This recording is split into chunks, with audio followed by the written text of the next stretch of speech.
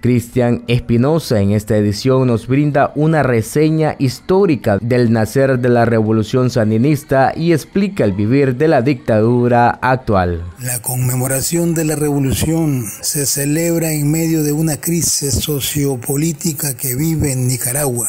La crisis sociopolítica se ha asentado tras las controvertidas elecciones del 7 de noviembre del año 2021, en las que fue reelegido para un quinto mandato, cuarto consecutivo y segundo junto a su esposa como vicepresidenta y sus principales candidatos aspirantes a la presidencia en prisión. Daniel Ortega lleva 15 años en el poder en medio de denuncias de violaciones de derechos humanos, terrorismo de Estado, autoritarismo y fraudes electorales. Para los nicaragüenses que nos libramos de la primera dictadura de Somoza fue una alegría.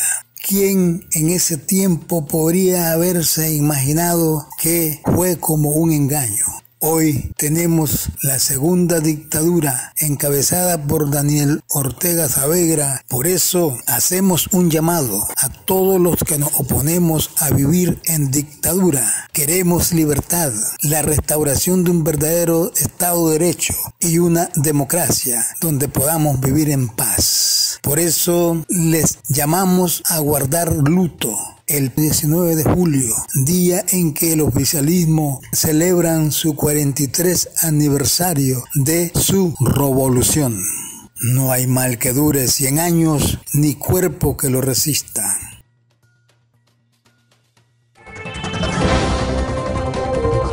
Gracias por informarte con nosotros. Suscríbete a nuestro canal de YouTube.